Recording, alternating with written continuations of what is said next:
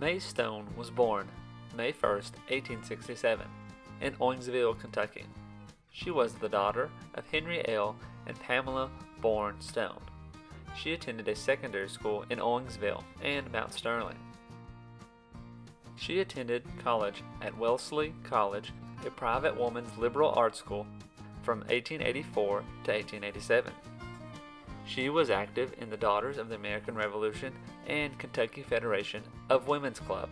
She returned to Kentucky and began teaching at some point over the next few years.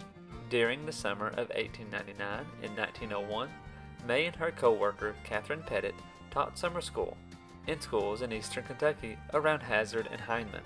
The following year, they opened Hindman Settlement School, located in Knott County. The Hindman Settlement School was very successful under Stone's leadership. The curriculum focused on typical academic studies and industrial arts. Teachers at Hindman also helped with other rural schools. They also offered medical clinics at the school.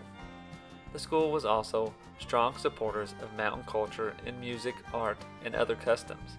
In 1936, May retired as principal. However, she remained on the board of directors for the rest of her life.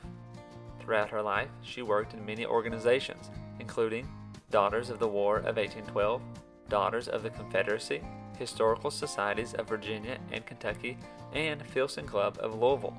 She died in Louisville on January 29, 1946. She was buried in the Lexington Cemetery.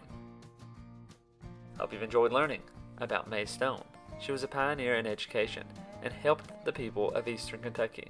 The institution she established provided the people of the area a great education. Hindman Settlement School is still in operation today.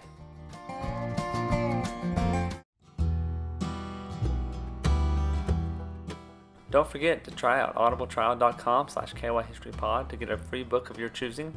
If you'd like to support the channel, check out our Patreon page at patreon.com slash kyhistorypod or you can become a member of our YouTube channel.